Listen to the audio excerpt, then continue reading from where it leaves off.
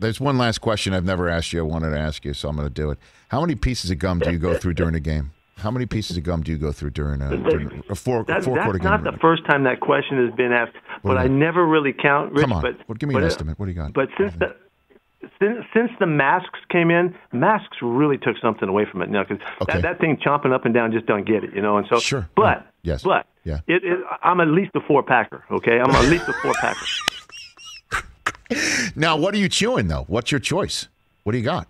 What do you do? I'm a bubble yum. I've been a bubble yum guy for a long time, all the way, all the way uh, back to uh, uh, uh, my boy back at you know uh, Dominguez back at SC. Man, we've been Okay. we've been double yumming the whole uh, Bubble yum. yumming the whole time. Okay, So, just bubble Yeah. gum flavor, mint. What do you got for me, Pete? Just it doesn't matter. Just a, yeah, yeah, just bubble gum. That's, yeah, just straight pink, straight just pink, straight pink. straight pink four packer. For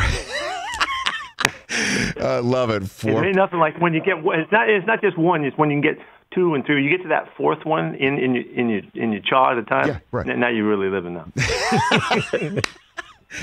Pete, you, thank you so much for the can time. this. Uh, No, no, there's no editing. feel Come on, no. edit whatever you want out of it. No, this is great. This is now. This is going to be. That's going to be the headline out of all of it. What we discussed, Pete. It'll be the bubble gum. hey, you watched all the way to the end. Thanks for that. Watch more right here.